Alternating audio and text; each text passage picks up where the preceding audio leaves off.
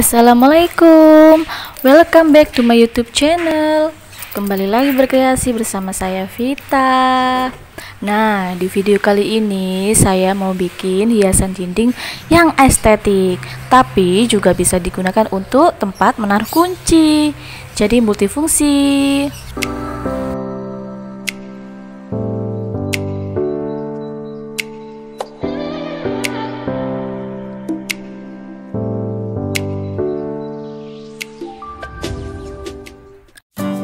Nah, jadi ini ya bahan-bahan yang aku gunakan. Simak terus sampai habis ya. Jangan lupa like, subscribe, dan juga komen ya.